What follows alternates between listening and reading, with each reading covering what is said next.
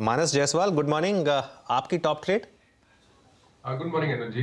Uh, तो देखिए आज एक वीक ओपनिंग तो होगी। उसके बाद अगर निफ्टी 17,125 के नीचे ट्रेड करता रहा तब शायद दिक्कत बढ़ सकती है। Uh, तो हमें एक uh, एक ट्रेड ऐसा ढूंढना है जहाँ पर जो चार्ट वीक लगते हैं। करंट लेवल्स पे नहीं अगर एक डाउन ओपनिंग मिले तो कोई पुल बैक देखने को मिले तभी आप वहाँ बिकवाली करें।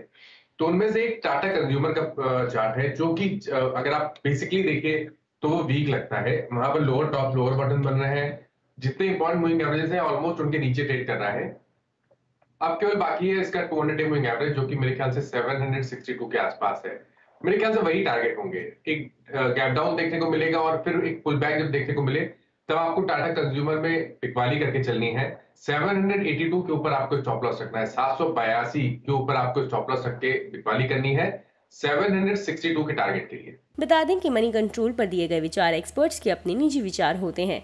वेबसाइट या मैनेजमेंट इसके लिए उत्तरदायी नहीं है। यूज़र्स को मनी कंट्रोल की सलाह है कि कोई भी निवेश निर्णय लेने से पहले सर्टिफाइड एक्सपर्ट की सलाह लें।